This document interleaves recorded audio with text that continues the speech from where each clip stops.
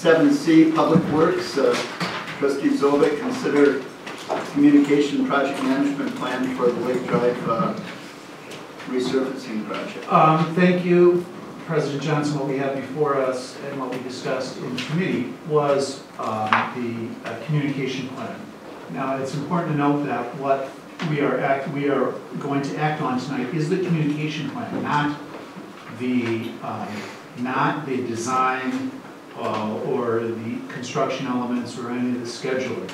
Um, And I will go ahead and make a motion so we can get the discussion started. This motion reflects our discussion at, uh, at committee. So I move to approve the communication project management plan as outlined for the Lake Drive resurfacing project with the following additions. First, that staff work to identify opportunities to combine communications on the Lake Drive project with communications regarding the Wilson Drive and/or Oakland Avenue projects. Can you pause? Okay, Second, uh,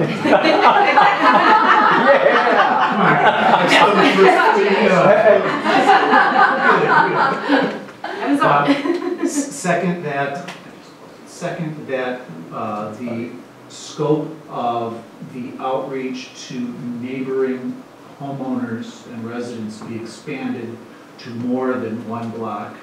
Um, Thirdly, that uh, staff work to identify the various stakeholder groups uh, that will need to be communicated with and, and uh, feedback sought.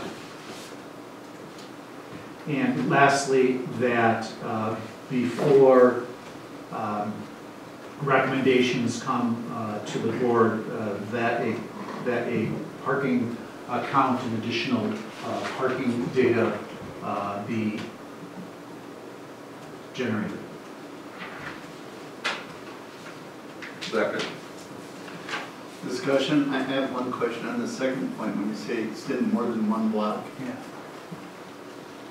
do we need to be more specific on that, or should we just, uh, No, because we weren't. Had that for and discussion. I, I, I I think Okay. staff understands, uh, um, our, our interest, and I don't know that we were gonna be in a line, and I don't know that I would want to, in a group, be in a line painting. uh, Right. uh. But I, but I do have a question on that, Okay, because I don't know what you are looking for outside of the decorative everyday. um, I'm gonna let trustee Rosick speak, uh, to the issue, but I, I, I think, um, that uh, the the comment was made uh, um, and agreed that Lake Drive uh, affects, it's one of the few streets in, in Shore that affects not only the people that live on that street, but it's one of the few streets that probably affects in one way or another, just about everybody. Uh, And there were some specific communications uh, aimed at, and there was the map of the line pointed at, uh, line pointed at uh, residents uh, within a block um, and then a consideration be made to, uh, to expanding that uh, um, beyond that one block uh, radius. Yeah, I think that, I, I think there wasn't a specific direction, I, because beyond mailing to every resident, um, what is that radius? But is there other ways, other than mailing, that you can touch every resident, um, that we talked, some of the things that we talked about? Okay, that, that helps me, because that's when we started to discuss the Yes. stakeholders and identifying not necessarily an expansion of the mailing radius that was shown, but how do we tap into different stakeholder groups to make sure that we not only utilize them for this, but other future communications, so they can be aware of different opportunities out there. And like, we discussed looking for opportunities, like tax bills they've already gone out, but Shorewood, uh, I'll talk about Shorewood today in a second, but, um, I think trustee Zovic mentioned, or you mentioned, well, somebody mentioned in committee, the little tabletops. where they Or the front together cover. Some kind of, that you reach more residents Mm-hmm. in some fashion, um, directly than just one block around the At the radius. elections, So I don't know what that method was, but, and that's up for discussion. Oh, What's I'm that? sorry. Yeah. First, second on that motion. Yeah. Not for Yeah. this. Yeah, but the meeting is January seventh, said the meeting is the Yeah. seventeenth. I Correct. mean, we're not talking like a lot. Right, and uh, there were two other things that were mentioned in committee, didn't make it into the motion.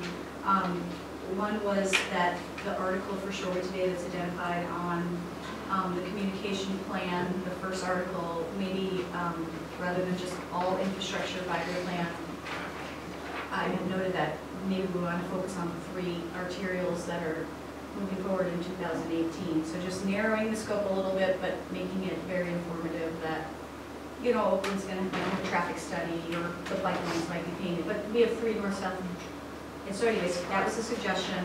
Um, And then the other suggestion was, which ties to trustee Zovic's amended part about the parking count, just making it very clear in every communication, um, this last bullet point, uh, which I want, you know, we discussed a little bit in committee, so everyone was on the same page, that when we go to reconstruct the project using state funds, we will not be able to have both a bike lane and a parking lane, like, we won't be able to have that shared lane. It's not allowed in there, so you'd have to pick. And so that, and that's the request that made it into the amended motion or motion, um, which is try to get that data, that parking data up front like we did in Wilson, even if it's just a one-day count, to say, is it utilized? Because once you put, my feeling is, once you put in bike lane, which I'm all for, you know, a shared bike lane, it's just gonna be hard to take it away and have to make that, it's just gonna get it harder in five years to say, well, do we take all the parking away or do we take the bike lane away? And I don't, and if there's another option, then we, we need to identify what that is too, but those are the two that I know right now. Um, I have one other question, but Okay, so is that, is that definite? Because I know when we talked about this in ped bike safety, there were, it was unclear what the state would require in terms of, you know, the configuration.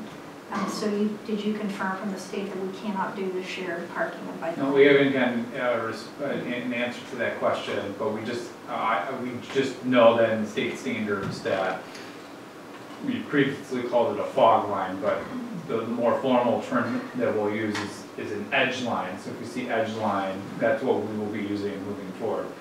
But an edge line, a shared space for parking and biking isn't necessarily their standards.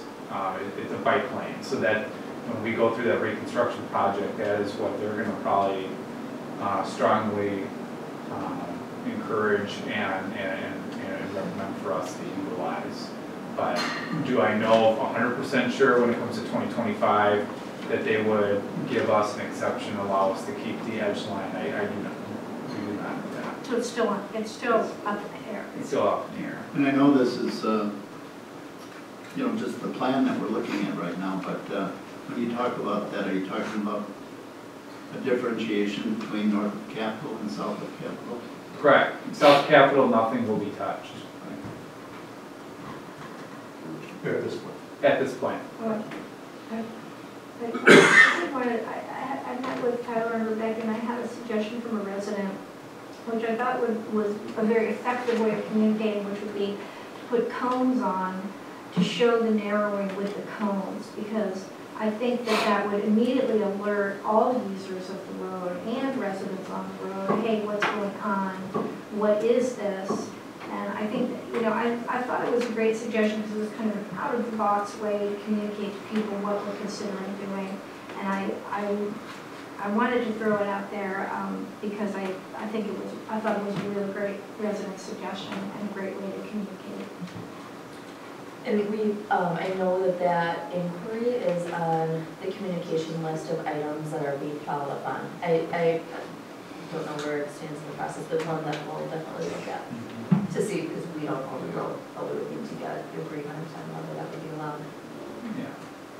Yeah, because I don't, with with the state, I don't know if that would, Right. how they would feel about that, so that's one of the other, to be determined. Trustee Rosa?